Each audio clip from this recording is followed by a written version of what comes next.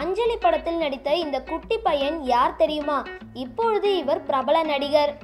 அஞ்சலி மணிரத்னம் இயக்கத்தில் ஆயிரத்தி தொள்ளாயிரத்தி தொண்ணூறாம் ஆண்டு திரைக்கு வந்த திரைப்படம்.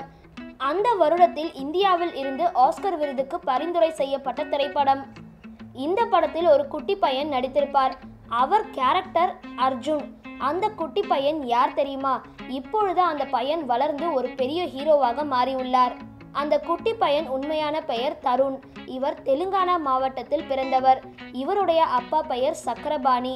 ஒரியா மொழியில் நடிகராக நடித்தவர். அம்மா பெயர் ராஜா ரமணி தெலுங்கு மொழியில் நடிகையாக நடித்தவர். தனது பதினோரு வயதில்தான் அஞ்சலி படத்தில் நடித்து குழந்தை நட்சத்திரத்துக்கான தேசிய விருதை பெற்றார் நடிகர் தருண். அதன் பின்பு மலையாளத்தில் ஒரு சில படத்தில் குணச்சித்திர நடிகராக நடித்தார். அதேபோல் மலையாளத்திலும் குணச்சித்திரத்துக்கான தேசிய விருதை பெற்றார். அதன் பின்பு ஹீரோவாக தெலுங்கு படத்தில்தான் அறிமுகமானார்.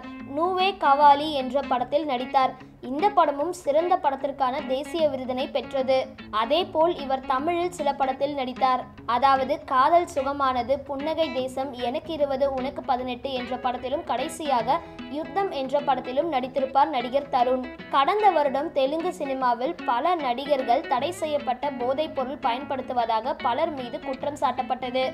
அதில் இவரும் ஒருவர்.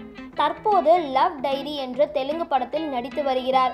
முப்பத்தி ஆறு வயதான இவருக்கு இன்னும் திருமணமாகவில்லை. இந்த வீடியோ உங்களுக்கு பிடிச்சிருந்தா லைக் அண்ட் ஷேர் பண்ணுங்க. மேலும் இது மாதிரி நியூஸஸ்லாம் தெரிஞ்சுக்க மறக்காம பக்கா டிவியை சப்ஸ்கிரைப் பண்ணுங்க.